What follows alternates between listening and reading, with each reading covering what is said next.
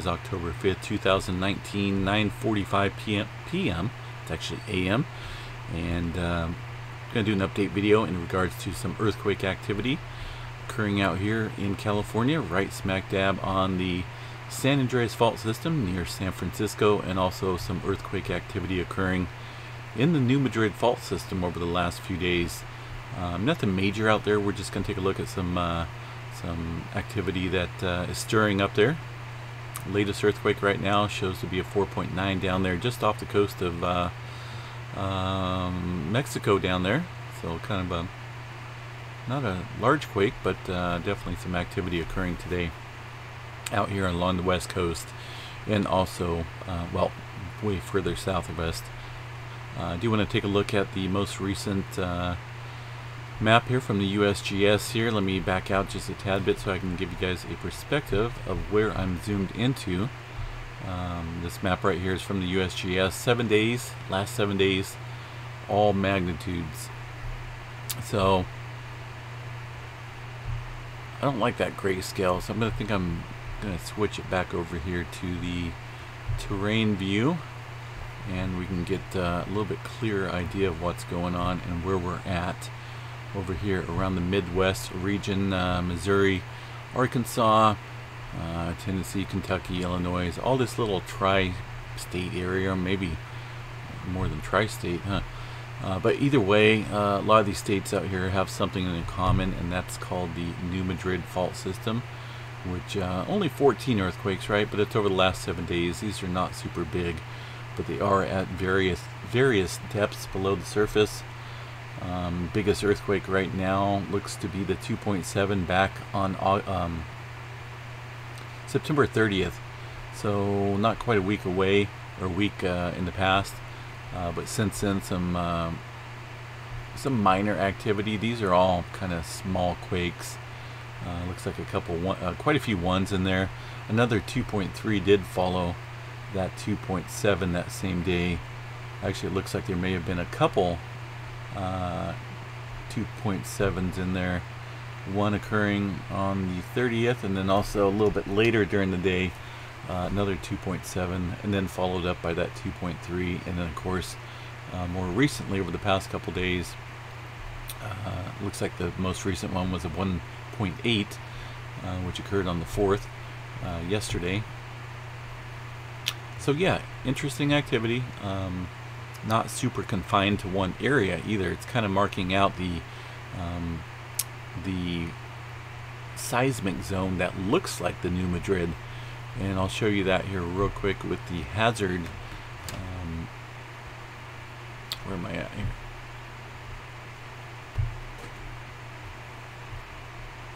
There we go. Froze up on me a second. I had a had my computer do an update video or update uh, on my computer last night while I was sleeping.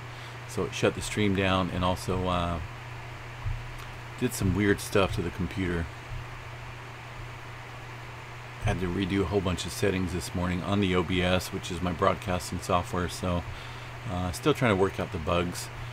But either way, I always try to get the most uh, recent updates on the computer. Just it's beneficial. I think everyone should definitely do that uh, for security. So here's the uh, Hasmic zone from the USGS, the dark red indicating the most uh, severe region um, for shaking and hazards along this new Madrid fault system. And hold on a second here, folks. And that extends, like I said, up into um, up into parts of Missouri and uh, some other states close to Tennessee and all that area right around Memphis as well. Um, any bad area for some um, some future activity. I'm not saying this is going to happen anytime soon, but um, whenever we see earthquake activity along along a major fault or a major plate boundary or uh, around any super volcano or any type of uh, geological area that has shown major quakes in the past, recent or you know a long time ago, uh, I like to give a, uh, a notification on that, and that's what we're seeing out here along the New Madrid fault system. And um, this right here, this map shows the hazard area, and these are kind of, you can see the quakes kind of following a, a pathway of that redness area, right? So that would be the main New Madrid fault system. You can't really see it on the surface. These faults are uh, uh, well below the surface, unlike here in California. Um, you know, you can obviously see the San Andreas fault system, the plate boundary between the Pacific and the North American plate, uh, very visible from the air and uh, a lot of our faults out here pretty shallow I mean they're, they're visible from the air and above the ground uh, but a lot of these other ones you don't have to dig too far down to uh, to see see them as well this uh, system right here the New Madrid sits a lot lower uh, below the surface here and uh, it's going to bring up a little bit of information on that on the New Madrid fault system here, which is very capable of producing uh, some significant earthquakes here. As you can see, uh, this little article right here from uh, from Wikipedia uh, in in regards in regards to the uh, um, the fault system out there. Just trying to find something here on my side.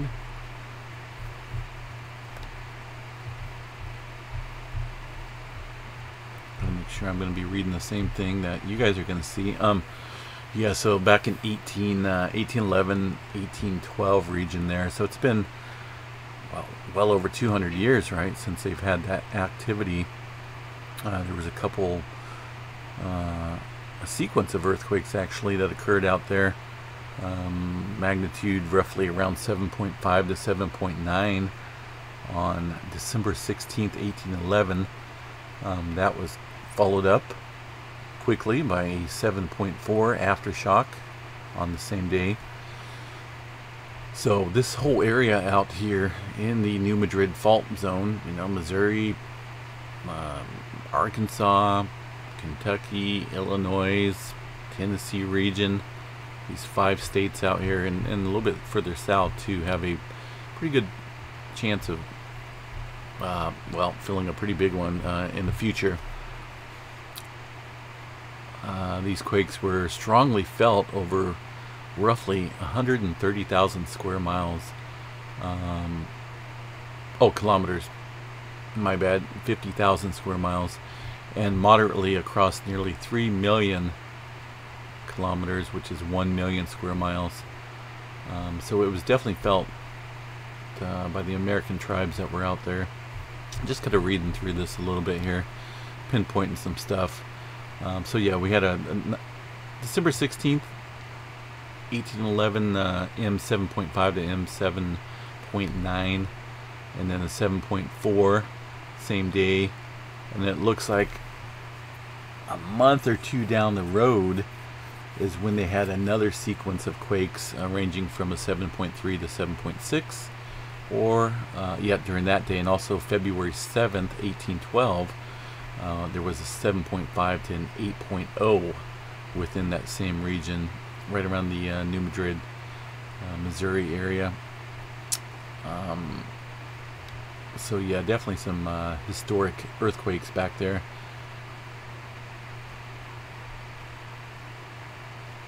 Let's see here.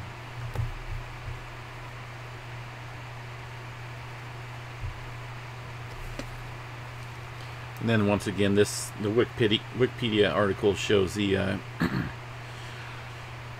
shows a hazard out there. You know, it's just it's kind of scary. A lot of folks out there think they're safe from earthquakes if they don't live in California, but uh, it's definitely an area out there that can see some big ones. Uh, looks like the last strong earthquake within the New Madrid fault system occurred near Charleston, Missouri, on October 31st, 1895. So some years later, still over about uh, over a hundred years, obviously, um, in the past.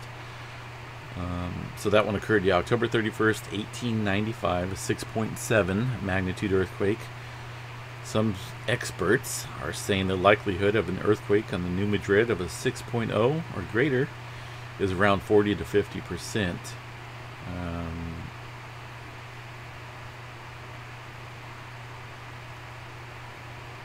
So yeah, the, the professionals out there stating that uh, just like I mentioned there about the fault systems not being not being at the surface, uh, it makes it difficult for them to understand and study uh, when they're in the ground like that, or below the surface, I should say.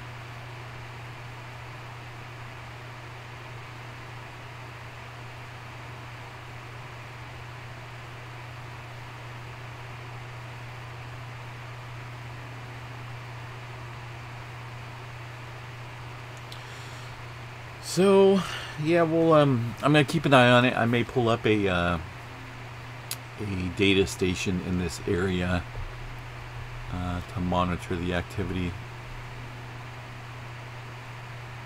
and uh, keep an eye on uh, the data stations out there themselves.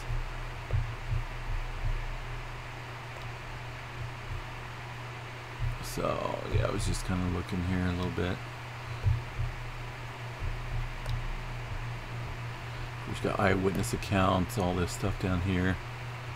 Um, but yeah, check it out if you get a chance. Uh, if you want to read an interesting article on the 1811, 1812 earthquakes, uh, I would definitely check it out. There's quite a few videos out there um, as well in regards to uh, um, eyewitness, eyewitness accounts and stuff like that. Pretty interesting here. Um, another thing I wanted to look at here and show you guys is the activity occurring out there in the Bay Area of Northern California. See if I can find that once again. So for that to happen, I need to redo this here and set up a different uh,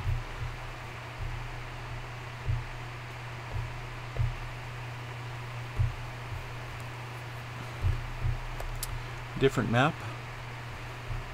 Actually, we can just take a little road trip across the country on the USGS map. And of course, Oklahoma. Obviously, seeing some earthquake activity out there as well.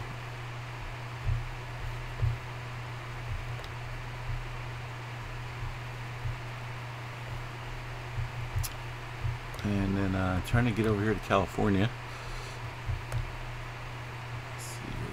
thing is just kind of being a little strange on me today.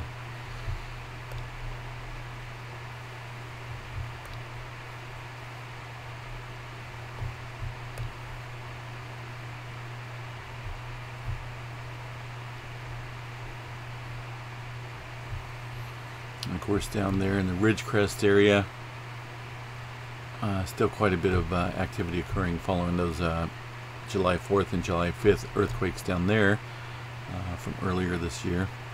Of course, that aftershock activity will continue well into next year. Uh, there's no doubt about that.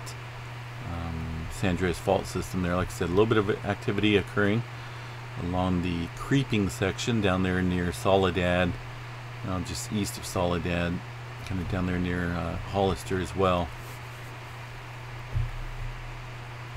This thing is not wanting to cooperate today, let me tell you. Anyway, the activity in question that I'm talking about here in the Bay Area is right up here, right along the um, the uh, San Andreas fault system, or just right off of it, I should say. Looking a little bit closer now, it looks like uh, it's not directly on top of any of these, you know, these uh, markings at the USGS has up here as far as like the fault systems go. But uh, the strong red line right here that runs from north to south is the San Andreas fault system. It runs through uh, or just west of San Francisco down into the South Bay as well. You can see the little earthquakes over here just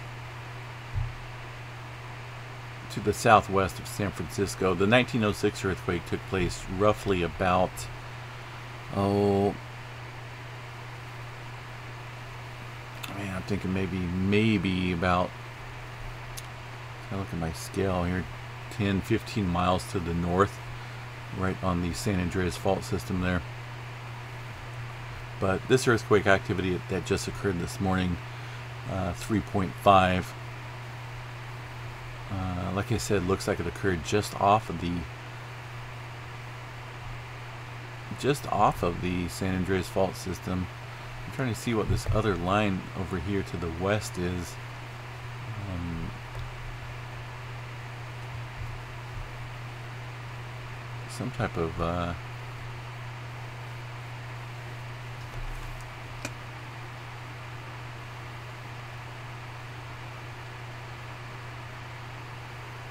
San Gregorio fault? I haven't, I don't even think I've heard of that.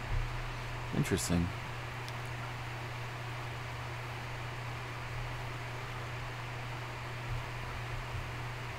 So yeah, definitely within the vicinity of the San Andreas Fault. I'm going to have to do a little bit more research on this uh, San Gregorio fault system. See what that's all about here. But uh, either way, 3.5.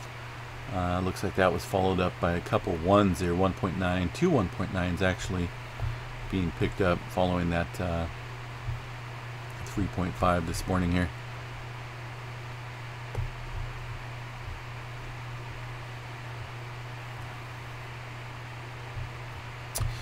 So yeah, anyway, folks, um, I got a little bit of work to do on the computer here. Um, that the uh, train museum out here that I have from the live, what's well, live from the uh, Tehachapi Train Museum, normally has audio.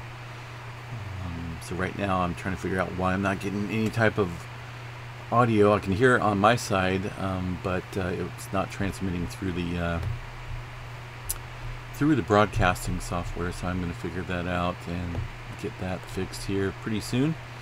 Uh, in the meantime, I'm going to take a spin around the globe and see what's going on out here as well. Pretty active day. Um, let's see, this dropped us just a little bit more. That's kind of like 36 hours. So we're looking at uh, last 24 hours of earthquake activity right there.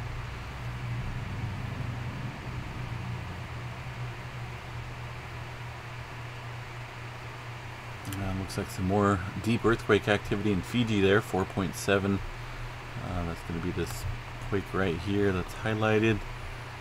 Uh, nothing major to report, you know, just those couple interesting areas here along the New Madrid and San Francisco Bay Area this morning that kind of caught my attention, uh, requiring an update. Other than that, earthquake activity appears to be normal uh, levels right now around the globe nothing strange or uh, unusual. Of course, down here, uh, this earthquake activity, buildup of earthquake activity is all aftershock activity. Can't remember the multi or that magnitude of quake from when was it last week or possibly two weeks ago now, near the uh, Dominican Republic, Puerto Rico area. All in that area, they had uh, uh, all this activity is just aftershock activity following that quake that happened. I think it was a 6.1 that occurred here. I'm thinking about two weeks ago. I don't know. I'm kind of messed up on my time frame right now, but that's uh, that's what this swarming is all about. Uh, just aftershock activity in that area. Um, but yeah, we'll keep an eye on this uh, region down here off the Mexico area, Mexico coast, with the 4.9 being the most recent quake right now. Um, so yeah, anyway, live stream is up and running. Uh, I'm going to work on the computer for a little bit, so I'll be off and on here throughout the day. So take care, everyone, and uh, play it safe out there.